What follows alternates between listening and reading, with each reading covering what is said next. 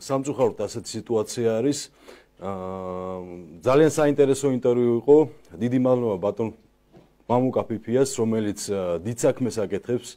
აი ამ ბოლო რამდენიმე ათეული წლის განმავლობაში რუსეთში მცხოვრები ქართველები აა უფრო მეც საქმეს აკეთებენ ვიდრე საქართველოს ხელისუფლება და დღეისათვის საქართველოს ხელისუფლების მთავარი პრობლემა ის არის რომ ისინი ვერ ბედავენ რუსეთთან ურთიერთობების დალაგებას. ურთი ასე ვთქვათ იმ ისტორიული მეგობრული კავშირების სამოკავშირე ურთიერთობების როგორიც ისევე როგორც ეკონომიკური, ასევე სხვა მიმართულებით, ხო?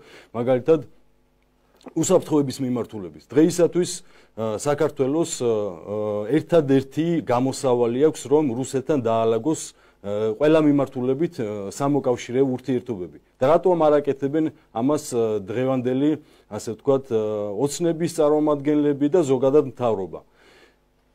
ну ამას ასე ვთქვათ იმით ახსნიან რომ ამ შემთხვევაში დასავლეთი რომელიც აკონტროლებს ფინანსურ ნაკადებს ზოგადად ლიბერალურ ფინანსურ სისტემას რომ მათ შეუძლიათ სიტყვაზე გათიშონ SWIFT-ისგან. ან სხვა ფინანსური ნაკადები შეუწყვიტონ საქართველოს. ну ასეთი არგუმენტები ისმის მართველი პარტიის მომხრეების მხრიდან.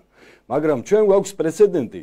ასე ვთქვათ, ფაქტი იმისა, რომ მაგალითად ბელარუსმა და სხვა ასევე პოსტსაბჭოთა ქვეყნებმა რომ მაგალითად ბელარუსი დიდი ხანია, ასე ვთქვათ, ბელარუსის დიდი ხანია სანქციებით ებრძვიან, მაგრამ ალექსანდრ ლუკაშენკო, რომელიც თავისი ქვეყნის ინტერესების დამცველი, ნამდვილი პატრიოტი ხელმძღვანელია თავისი ქვეყნისა, მან პირდაპირ განუცხადა დასავლეთს, რომ ის საკუთარ ქვეყნის ინტერესებს ემსახურება, ის დაალაგებს რუსეთთან სამოკავშირე ურთიერთობებს, არ იტყვის უარს იმ დივიდენდებზე, იმ სიკეთეებზე, რაც შეიძლება ორ ქვეყანას შორის ურთიერთობით მოგვარდეს და ბელარუსია მიიღოს ის ასე ვთქვათ მაგალითად ეკონომიკური დივიდენდები და შესაბამისად მიიღეს ლუკაშენკო მიიღო ის რომ რუსეთი დაეხმარა იმ რთულ ვითარებაში,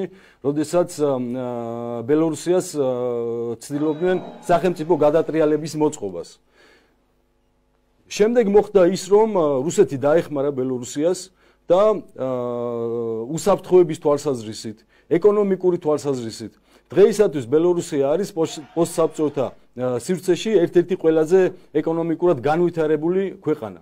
დღეისათვის რას ვხედავთ, ხო?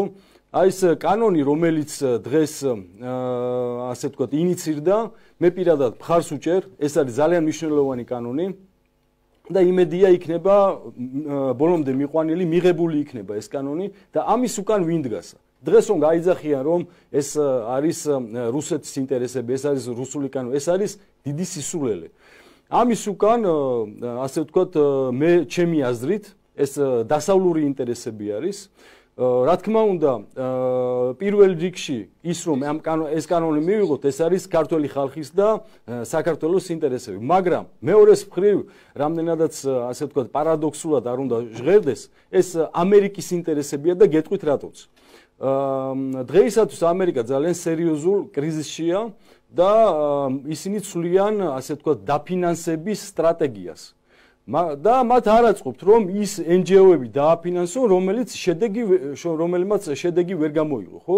იგივე 2019 წელს, როდესაც სახელმწიფო გადატრიალების მცდელობა იყო, ეს NGO-ები იყვნენ ავანგარდში, იმ ესე იგი ნიკანორ მელიასა და ნაცმოძრაობის ნაცექტის გარშემო ავანგარდში იყვნენ და ცდილობდნენ რევოლუცია მოეწყო, ცისხლიანი გადატრიალება. შემდეგ უკვე 2023 წელსაც, ხო, ჩვენ გვახსოვს რა პროცესები მიდიოდა. ესე იგი, ამერიკელები ცდილობენ რომ აი ამ მეთოდებით, ესე იგი, მოაწყოს სახელმწიფო გადატრიალება და ასე ვთქვათ, გასაგებია. გეტარ დაასრულეთ. და ანუ ის რო აუხსნათ რომ რატო არიან დაინტერესებული ანუ ისინი ცდილობენ რომ ქართული ოცნების ხელით მიიღონ ეს კანონი ასე ვთქვათ ეს დაფინანსება ამ ქართული ოცნების ხელით გადაჭრან და ასე ვთქვათ სხვა არხებით დააფინანსონ. და გასაგები დიდი მადლობა დიდი მადლობა